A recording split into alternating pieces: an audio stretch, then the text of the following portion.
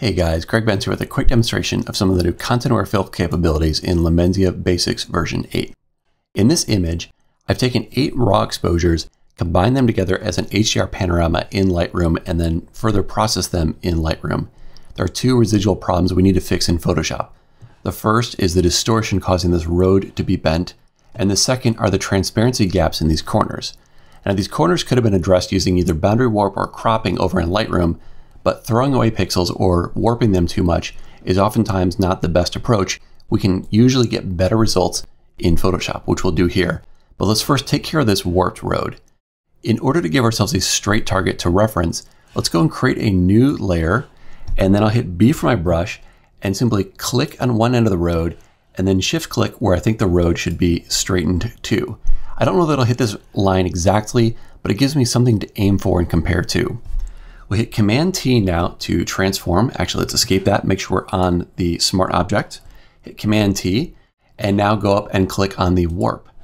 With the warp, we can grab any of these different little points, such as right here, and try and bring the road up to better match this magenta line, or at least follow its rough path. So I'm looking at kind of the bottom edge of the road, trying to see if I can't match that without creating gaps on the edge here, and just kind of straighten things out a little bit better here. And that to me looks like it's a pretty good job.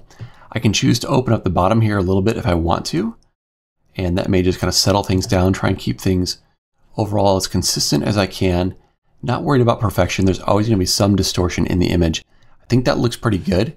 Click on the check mark to OK that. Then we'll turn off our reference here and just hit Command Z to look from before to after. And you can see how it's nicely straightened out the road to give us a better looking result here. Now I think we're ready to start filling in these corners. We could get rid of our correction layer or reference layer here and hit W for the wand and then select the missing pixels in the corner. Normally you go up to edit, content aware fill, but as you can see, it's grayed out because I sent this image over as a smart object. I like having the flexibility to change things with a smart object, so I'd prefer to work with this rather than rasterize it. And we can do that by working through the Lumenzia Basics fill option. When we click on fill, we have the option to content aware fill. We can optionally choose to sample all layers. So if I had multiple layers from exposure blend or other work I've done, we could pull from all of them instead of just the active layer. And then I can also choose to expand or contract my active selection. Given that the wand is prone to being off by about a pixel, I think expanding by one pixel is a good choice. We'll click OK. This will pull up the content aware fill dialog, which you can see has already done a great job of filling in that problem.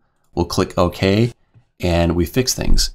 Now there is a bit of a white line here, but it's a false line. When we zoom in, you can see it doesn't really exist. So make sure you zoom in closer to about a 100% or so, and then you'll see whether there truly is an issue with your image or not. That's just a way that Photoshop kind of previews things when you're zoomed back with layers. It's not really in the image. You can also create a stamp of the image if you click the stamp button in Basics here when you have a complete layer, it will fill that in. So you don't run into the preview issues when you have a single layer. It's the combination of multiple layers zoomed out that causes that false preview artifact. Now we can go through and select the rest of the missing pixels and fill them one by one, or we can do them all at once. I'm going to delete this content aware fill, and now with nothing selected at all, just click on fill, and Lumenzia will automatically find all the missing areas and help us fill them in with content aware. Adjust the green areas if you need to, but otherwise click OK and give Photoshop a second to render the content aware fill. And as you can see here, we've completed the fill. Let's just zoom in and see how we've done. Top right looks great. The bottom right, we need to zoom in a little bit further. Also looks great. Bottom left, everything is looking really nice. So we've got a great result here with one single click of the fill button and as you can see, we've retained the underlying smart object. So if we ever need to go back and make changes to the image, we can double click this. We have all the original camera raw settings that we can adjust for this scene, make changes. We would just simply have to go back and redo the fill, but because it's a one click operation, it's very easy to catch up and maintain a non-destructive workflow. To learn more about Lumenzia, please head over to gregbenzphotography.com slash Lumenzia.